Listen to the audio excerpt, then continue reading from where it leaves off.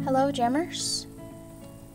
Um, I was happy earlier today and yesterday because I got a wrist bike, I got a wristband, I got a Mac, I got an eyeball hat, everything like this.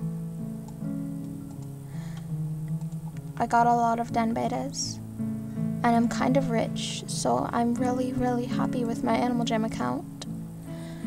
So you might be wondering, why is your Animal Jam player laying down? Why are you playing some sad music in the background? Why do you sound so depressed?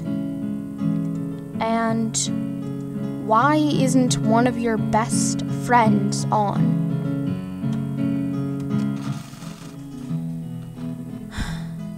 Um, this morning I already checked my Jam-a-Grams, but I woke up to this.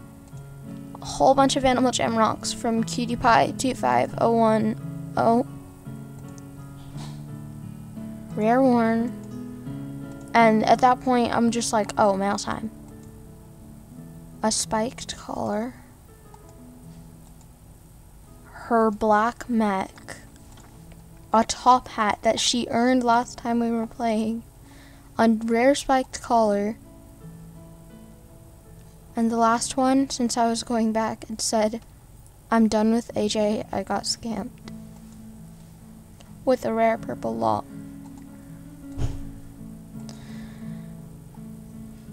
My eyes are watering right now, if you couldn't already tell. I just. I I'm not accepting these gifts. I can't believe that this happened. I think it was her tiki because um, she had a tiki mask, a founder, and a neon bow. And from what it looks like, all of her looks are destroyed.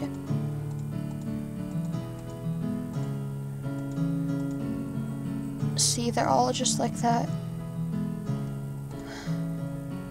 She still has all her pets. I don't know if this is hacking or something or what, but I just. I refuse to accept these gifts until she has made a full actual decision.